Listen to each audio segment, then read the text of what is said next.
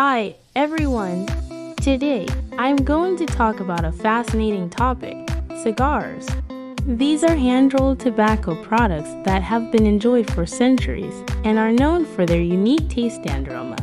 Cigars are made from two main ingredients tobacco and paper. The tobacco is either smoked or fermented before being rolled into the shape of the cigar. There are many different types of cigars, such as Cubans, brands, and nargiles, each with its own unique flavor profile. The process of smoking a cigar involves lighting the end and burning the tobacco, which slowly infuses the leaf with flavor. The aroma of a cigar is a combination of the smoke and the tobacco's natural fragrance.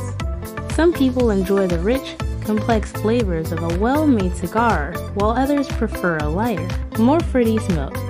Cigars have been a popular choice for socializing and relaxation for centuries, and they're still widely smoked today.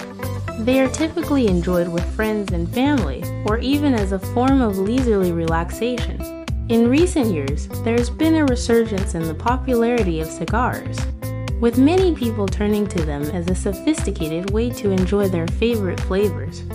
High quality cigars can be quite expensive, but they offer a unique and indulgent experience that many people find appealing. In conclusion, cigars are a delicious and timeless tobacco product that has been enjoyed by people for centuries. They come in various flavors and styles, making them a popular choice for those who enjoy trying new things. Whether you're a seasoned cigar consumer or just curious about them, I hope you enjoyed this brief introduction to the world of cigars.